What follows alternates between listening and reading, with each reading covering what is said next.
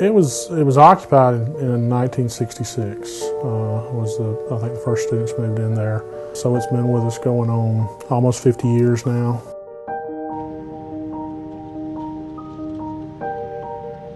There's never been any extensive renovations to it. It's basically the same floor plan it was when it was built. You know, there's been some modifications and cosmetic type stuff, you know, done in the building, but as far as uh, any type of major structural innovations to the building, we've never done any to it. So it's, it's basically in its original form.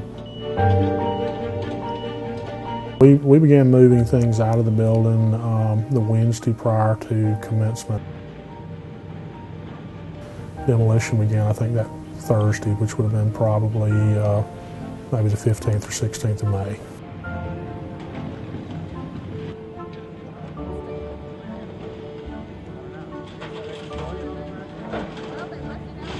The building was very functional.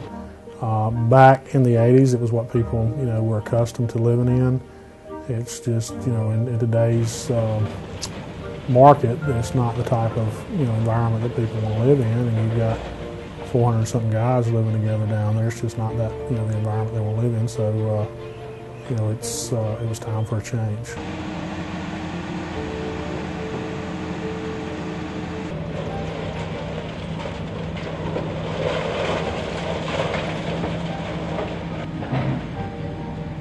When I tell people I lived there 14 years, they, they kind of look at me strange, but as I said to y'all, it was 14 years both as a student and a staff member. Uh, I did live there all four years of my undergraduate college career, and uh, uh, time graduating and beginning graduate school, I was offered a, at the time it was going to be a temporary one-year job because our coordinator of men's housing had left uh, in July and so I took that job for a year and I moved into the apartment there on A Wing.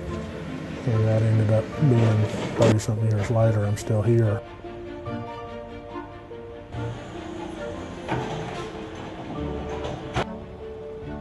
I think on one hand, while we're, we're glad to see a new building uh, come up, I mean, there's a lot of memories there that, that you know, we'll, we'll all cherish over the years hopeful that we're going to occupy it fall of 2015. That's our, our deadline or our goal to occupy it then. But it will be private rooms, private baths. Technology is going to be an emphasis in this building.